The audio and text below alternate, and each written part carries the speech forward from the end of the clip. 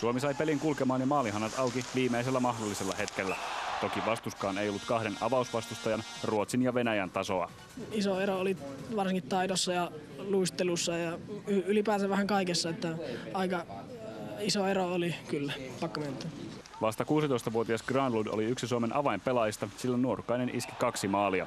Granlund pelasi ja puhui itsensä paikkaan, jossa ratkaisuja voidaan odottaa myös ensi yönä, kun Slovakiakin on pakko voittaa.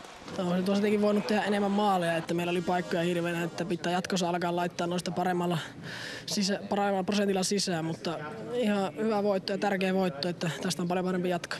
Suomi kamppaili kahdessa ensimmäisessä ottelussa puolustuspään virheiden ja tehottomuuden kanssa. Nyt niistäkin ongelmista päästiin ainakin väliaikaisesti eroon.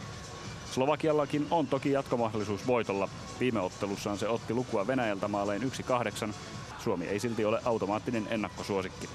Mä luulen, että se voi vähän niitä vahvistaa tai pistää vihaa päälle, että ne voi tulla kovaa päälle. Että meidän täytyy tulla erittäin valmiin alusta asti.